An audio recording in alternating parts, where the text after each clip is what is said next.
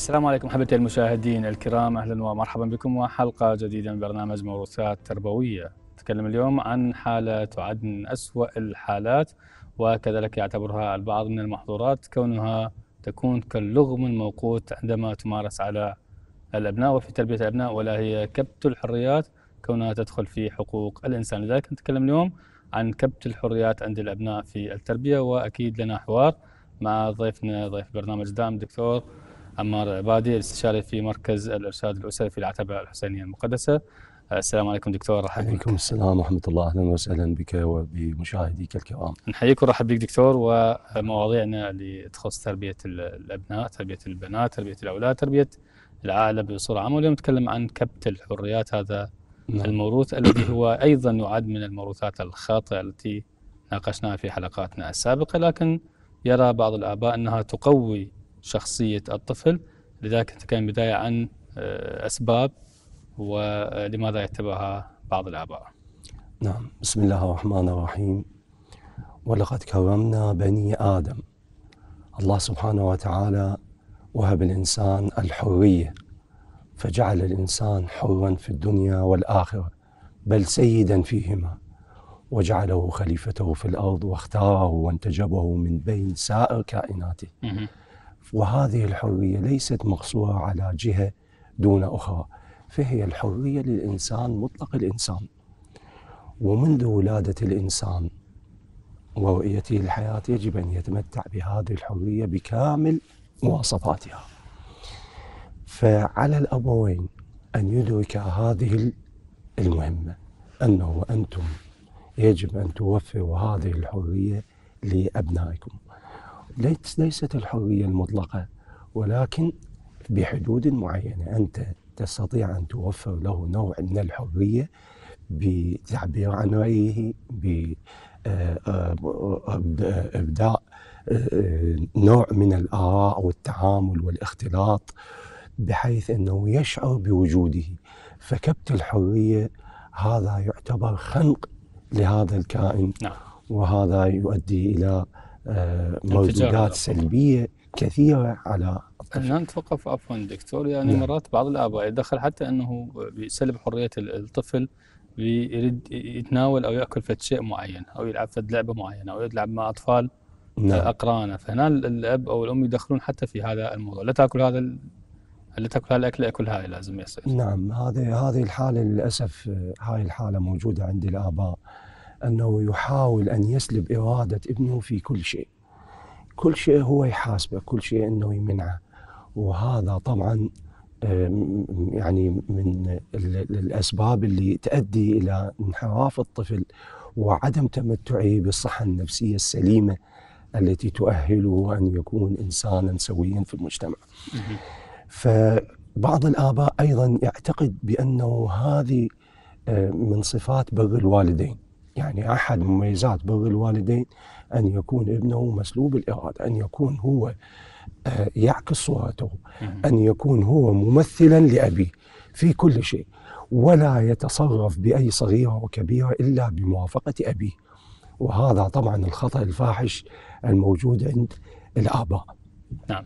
لأن نعم. هنا أكيد راح تكون أكو بعض المخاطر بهذه التربية أو بهذا الموروث. ما هي المخاطر اللي تتوقعها دكتور في اتباع هذا النهج من التربية أو في استخدام هذا الموروث التربوي؟ نعم إحنا طبعا في علم النفس يسمون هذه الحالة حالة إنه كبت الحرية لدى الأطفال بالحب الخانق يتصلحون عليه بهذا المصطلح الحب الخانق لأنهم بهذه الطريقة سيخنقون الطفل ولا يفسحوا له المجال بالتنفس أو أخذ راحته بحياته.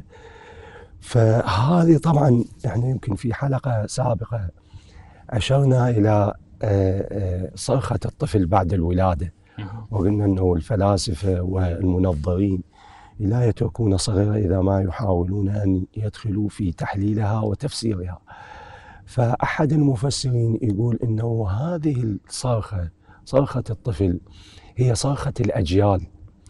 أي إنه هذا الجيل الجديد يصرخ بأنه هو ليس جيلك القديم أنه هو محتاج أنه تعطيه في نوع من الحرية حتى يمارس حياته الطبيعية لا أن يكون هو صدى لشخصيتك.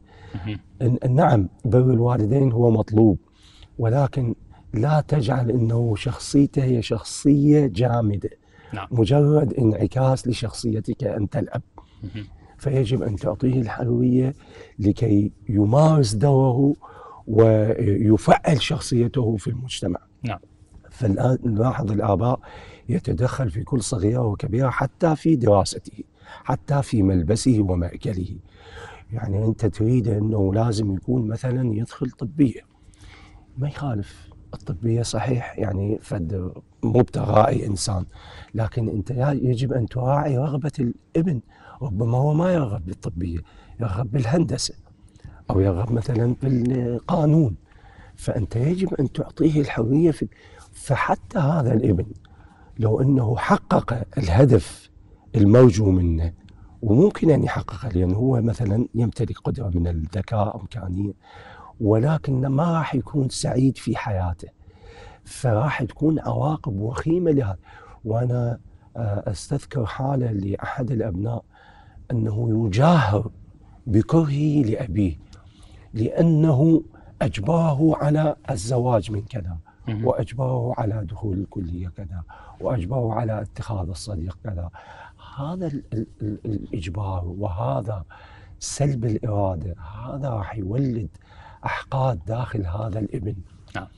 أحقاد قد غيرة وحسد إذا إذا سمحت دكتور خلينا نسأل عن موضوع أنه من حق الأب أن يتدخل في بعض الآراء في تربية الأبناء. لكن خلينا نسأل أنه إلى أي عمر ممكن الأب يفرض رأيه على الأبناء؟ ممكن هسه أريد أفرض رأيي على ابني وهو بالابتدائية مثلا نعم. في ملبسة في نعم. دراسة. لكن إلى أي عمر ممكن الأب أو الأم يفرضون رأيهم على أبنائهم؟ أحسنتم. إحنا آه الإسلام ما ترك صغيرة ولا كبيرة إلا أحصاها. وقول النبي صلى الله عليه وآله واضح جدا في هذا المقام إذ يقول الطفل سيد سبع دائما نكررها سيد سبع أي إنه هذه السبع سنوات اتركه يلعب كما يشاء. لا يعني إنه أنت المطلق الحرية المطلقة بحيث إنه يرتكب الاخطاء وأنت ضد الطرف عنه. لا وإنما أنت تكون بمواكبة له مع حياته ولكن تعطيه نوع من الحرية. بعد السبع سنوات يكون عبد سبع أي يكون التوجيه أكثر الالتزام أكثر ولكن دون تحديد وتحجيم دور فيجب أن يكون له دور في هذه الفترة اللي راح يكون بها مقبل عليما. مقبل على مرحلة المراهقة اللي يشعر بها أنه هو رجل يجب أن تعده لهذه المرحلة. المراحل هي متداخلة والواحدة تكمل الأخرى والواحدة تكمل مسيرة الأخرى. فأنت يجب أن تكون مواكبا لمسيرة ابنك العمرية. في هذا العمر يحتاج أنه مثلا أنه تشاركه تصاحبه تبدي له رأيه تسمح تسمع لرائه حتى بالنسبة لتوضيح الأخطاء الإسلام دائما يوصي بطريقة أو بأخرى أنه لا يكون التوجيه بصورة مباشرة نعم. ولا يكون التأنيب والتعنيف بشكل مباشر. أنت بإمكانك أن توصل الفكرة الصحيحة لابنك بعدة أساليب. مثلا اتباع الأسلوب القصصي. وأنا تستحضرني رواية إذا سمحت لي أذكرها لك في هذا المقام. يعني الرواية إنه توضح كيفية تصليح الأخطاء. يعني إحنا أبنائنا كثيرا ما يخطئون لكن ما يتقبل إنه أنت تقول له خطأ، ما راح يكون واقعها آه، جيد عليه وإنما ربما يكون لها انعكاسات أخرى. فيروى إنه كان هناك صديقان أحد الأصدقاء له ابن فكان هذا يزور صديقه وابنه وياه من يطلعون يتمشون. كان ابن هذا الشخص يتقدم عليهم بالمشي. ونحن عادة يعني المتعارف لدينا أنه الابن ما يتقدم, يتقدم على أبوه. يعني دائما يتخلف عنه ويخليه هو بالواجهه فهذا راد أن ينبه ابن صديقه. فهل الطريقة الأمثل إنه يقول له لا تمشي هيك وكذا؟ اختار له طريقة أخرى. ذكر له فد رواية أخذ على صفحة قال له بابا راح أسولف لك هاي السالفه قال له قال له أكو شخص آه، مغرم بتربية الخيول. وهذا الشخص كانت عنده مهرة جدا جميلة وهي راقية يعني من النوع من النوعيات الراقية. بحيث إنه كثير ما عرض عليه إنه بيعها بمبلغ هائل ولكن لم يبيعها. وشاءت الأقدار أن تلد هذه المهرة. وولدت مهره أخرى تشبهها تماما. فضاعف تربيه اولادها واهتم بها أكثر إلى أن أوصلها مثل امه يعني بحجم أمها. فصار الاثنين من يمشن ما حد يقدر يميز بيناتهم الأم والبنت. فجاء أحد الأشخاص أراد أن يشتري واحدة منها. قال له أنا أريد أشتري. فصاحب المهر قال أنا معتز بالأم. ما أريد أبيعها.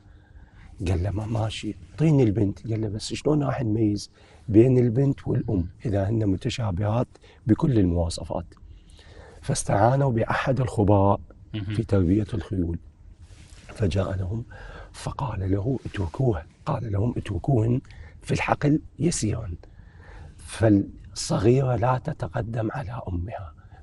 بالفطرة. الصغيرة لا تتقدم على الأم. فرجع إلى الابن قال هل فهمت ما أقصد الولد فقال له نعم فهمت عمو يعني عرف أنه تصرفه هذا أنه خاطئ ولكن بأسلوب قصصي استطاع أن يقنع بهذا التصرف. يعني هناك تكون التربية والمنع بطريقة قصصية أو بطريقة نعم. أخرى هي مو نعم. المنع النهائي. نعم. آه تمام اذا هنا الحرية اللي نعطيها للأبناء ما ما حدود هذه الحرية. يعني في حلقات سابقة ذكرنا أنه الأطفال عقلهم آه بعد مو ناضج نعم. عمرهم صغير ممكن ما يتحكمون بالأشياء بصورة صحيحة. نعم. الحرية اللي نعطيهم المدى اللي ممكن أنه نعطيه لهم كحرية شخصية لأولادنا. نعم، الحرية هي محدودة في كل المجالات حتى الكبير. يعني حتى الرجل الناضج أكو حدود لحريته، حدود معينة. فكذلك أيضا الأبناء أنا لما أريد أبني اربي ابني لازم أخلي له فت حدود معينة سواء كان الولد أو البنيه أكو فت حدود معينة يجب أن لا يتجاوزها. أنت بإمكانك أن تلعب بإمكانك أن تخرج بإمكانك أن تصاحب ولكن بضمن حدود. نعم. أنا لا أريد أن أراك مع صديق خارج عن الطريق. أنا لا أريد أن أراك متاخرا في الليل وترتاد الأماكن المشبوهة. أنا لا أريد أن أراك تلتقين مع بعض النساء التي عليهن نوع من الشبهة هذه الحدود يجب أن تكون موجودة لكي تقوم هذا الطفل فمتى ما عرف الحدود المطلوبة والحدود التي يجب أن لا يتجاوزها استطاع أن يسير بطريقة صحيحة وتطمئن على وجوده وسلوكه. أحسنتم دكتور اسمح لنا أن نشاهد هذا الاستطلاع. أعزائي المشاهدين الكرام نذهب نحن وأنتم لمشاهدة الاستطلاع استطلاع عينة من المواطنين لنستمع إلى آرائهم حول آه، آثار كبت الحرية على تربية الأبناء ويراها بعض الآباء بأنها هي النموذج الأمثل للتربية. كونوا معنا. بالنسبة للكبت أنا هسه عندي ثلاث أبناء. نعم علي ومحمد وحسين. مو كابتهم وإنما هي مراقبة بس مراقبة بشدة. السبب السبب أول شيء انتشار المقاهي. وهي هاي يعني هي هاي المشكلة وعدم المراقبة. يعني الشاب أو حتى الطفل يعني عمره سبع سنوات ثمان سنوات مو مثل الطفل قبل. نعم هسه هسه مفتوح. عندك التواصل الاجتماعي الإنترنت. فتشوف الطفل مو مثل الطفل قبل. يعني ما عنده ذيك البراءة. فلازم المراقبة ها؟ مراقبة عليه مو بشدة وانما على قولتهم خد وعين إذا تضغط عليه دائما لا تطلع ويا فلان لا تطلع ويا وطلع على الطب هذا ولا مخش عالم حشاك هاي تولد عنده غير سوالف عنده إنه يشد. بس لما الصادقه ها؟ ويصير أخوك أو صديقك يسولف لك كل شيء بقلبه. مو صدق مولانا؟ والله صراحة بالبداية إحنا لازم نعرف أنه الأطفال الوقت اللي يعيشون به غير الوقت اللي إحنا عشنا به يعني الأجيال اللي مضت وغير هذا الجيل. هذا الجيل يتعرض إلى يعني غزو ثقافي من مثل ما ذكرها السيد علي السيستاني الله يحفظه بعد السقوط بال 2003 فقال إحنا هسه عندنا أهم من الغزو من الاحتلال راح يجينا غزو الثقافي. فالغزو الثقافي إحنا هسه هم كل الغزو الثقافي صار على الجيل اللي بعد 2003 هذا الأولياء الأمور لازم يعرفون شلون يربون أطفالهم لأنه اللي اللي ولادته صارت 2003 2004 صار عمره 18 سنة 17 سنة. هذا تلقاه هسه يعني كل ما تحكي له على زمن النظام البائد ما يصدق. ما يصدق نهائيا. تقول له هيك صار هيك صار ما يصدق. هو دا يعيش وقت دا يتعرض خاصة الغزو اللي دا يجينا أول ما حاربونا حاربونا بالأخلاق. الاباء في وقتنا هذا. يلزم العصا من الوسط. أفضل لا يضغط علي زايد في سبيل إنه يروح يسوي غير شغلات. آه، شغلة أو انتحار أو آه، حالة نفسية تصير عنده يتمرد يصير عنده حالة نفسية. فشنو يعني لو ما يهدي الأمور لو نعم ما يضغط عليه ويكون يصير ابنه صديق له يكون صادقه. أهلا بكم مرة أخرى أحبتي المشاهدين الكرام. مرحبا بكم مرحبا بضيفنا الدكتور عامر. صاحب بك مرة ثانية دكتور. دكتور بعض المستطلعين أنطوا آراء أو نصائح للوالدين بموضوع الحريات فبماذا تنصح الوالدان؟ النصيحة للوالد كالآتي والنصيحة لي قبل غيره عليك أن تصاحب ولدك والأم عليك أن تصاحبي بنتك. ففرض الإرادة لا يحقق النتيجة المرجوة أنت إذا أردت أن تكون تكون شخصية ولدك يجب أن تعطيه نوع من الحرية. يجب أن يشعر بوجوده كشخص كإنسان. يجب أن يكون له رأي وله مشاركة وله مساهمة. وحتى إذا كان ما عنده رأي ولا يشارك يجب أن تشاركه أنت. يجب أنت أن تحاول أن تستحضر رأيه. وتستقبل رأيه. أنت تعطيه المجال أن يكون رجلا وفاعلا في هذه الحياة. نعم. لا أنه أنت تتصور أنك عند قيامك بجميع الأعمال أنك أديت واجبك. لا عليك أن تشركه تصاحبه وتصادقه. فهذا راح يولد عندك إنسان آه، آه، مستقيم إنسان ذو شخصية قوية. لأنه أنت إذا ظليت أنه أنت تخوفه من كل شيء راح يخرج إلى المجتمع خائفا من هذا المجتمع خائفا من الحياة. لا يستطيع مواجهة الحياة ضعيف الشخصية. في حين أنه أنت لما تخلي له فدري وهذا طبعا أنا شايفه عند يعني أصحاب يعني مثل ما يقول الشيوخ وأصحاب المجالس. نعم. شوف دائما إنه يحاول إنه يخلي ابنه في, في الصداره ويجعله يبدي رأيه ويشاركه في ملا في مجالسه يقال ان حتى في المجالس مدارس. أحسن نعم. ففي هذه المجالس يسمع ويسمع التحاور والآراء ويكتسب منهم. فأنت إذا تركت إنه هذا والله بعد صغير طوفوه خلوه لا هذا أنت شركه وياك؟ خليه يروح بالمجلس. يروح مثلا مجلس فاتحة مجلس آه، حسيني آه، مجلس آه، قاعدة عشائرية أو قاعدة مثلا صلح. هذه راح تكسب المهارة مهارة التعامل وابداء الرأي. وهذه كلها تساهم في صقل شخصيته تكون شخصيته. والا هو كيف يكون رجل إذا أنت سلبت من عنده كل هذه الأمور؟ إذن الدكتور ذكرت في مطلع الحديث إنه الإسلام لم يترك شيء إلا وأعطانا الدروس والتربية الحقة إذن نعم. آه، دور الإسلام هنا والقرآن الكريم في موضوع كبت الحرية عند آه، تربية الأبناء. نعم إحنا ابتدأنا الحديث بالآية القرآنية بسم الله الرحمن الرحيم ولقد كرمنا بني آدم. يعني الله سبحانه وتعالى يشجع على هذا الجانب إنه الإنسان إلى كرامته وإلى حريته. بل أن الله سبحانه وتعالى عندما أمر الإنسان بعبادته وطاعته هي لأجل هذا الإنسان.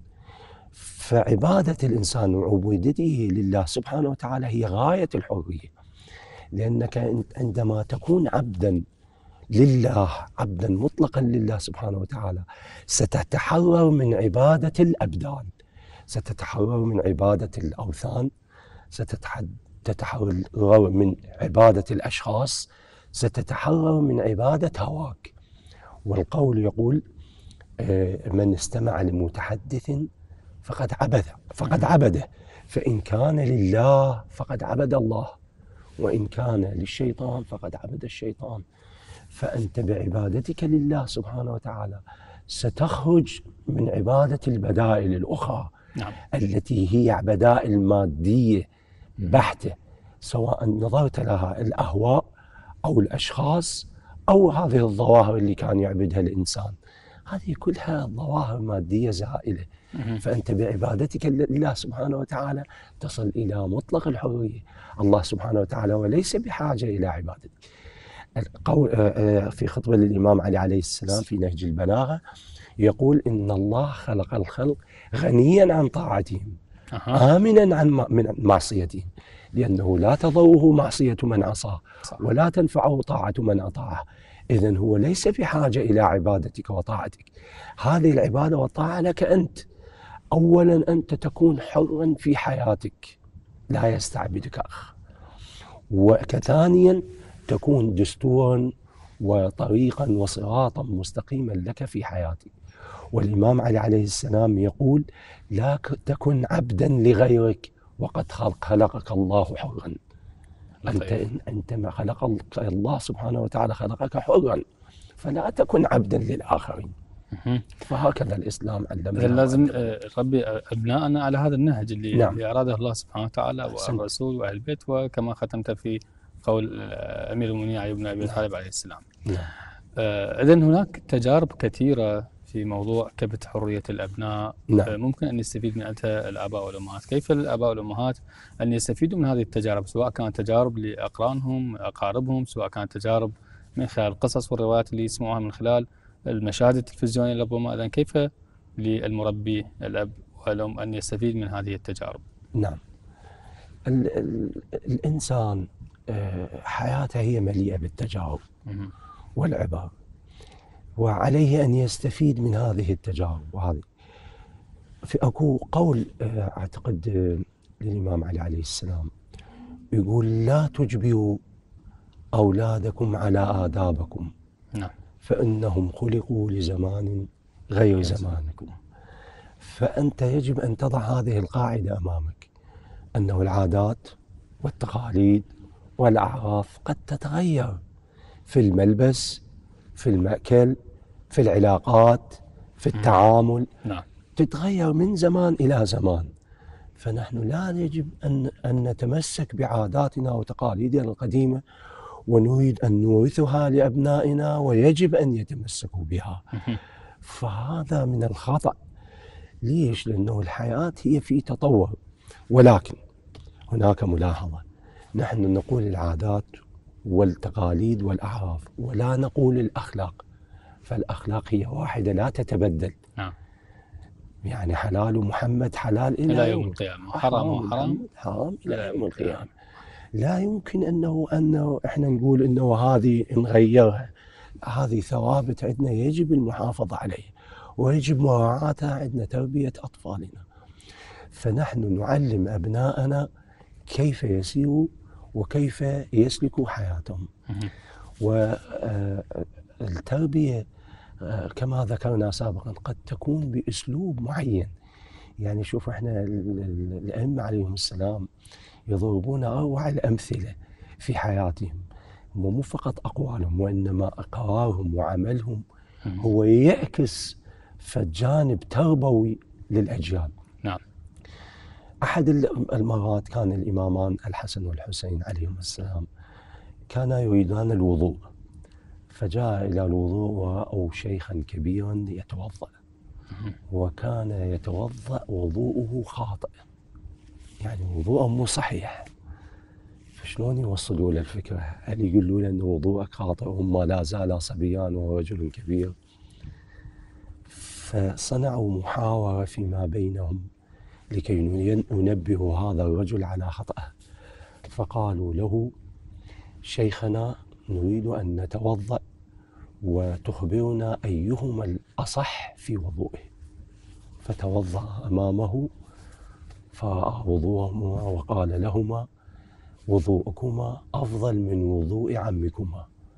فإذا أوصلوا الفكرة فكرة الوضوء الصحيح لهذا الرجل بأسلوب معين دون المس بمشاعره قد الإنسان لا يتقبل النصيحة من الآخرين ولكن هذا الأسلوب تقبله وكأنما نزل عليه فد, فد حل من السماء نعم. أنه كيف يتوضأ الوضوء الصحيح هذه التربية الصحيحة منين إجت؟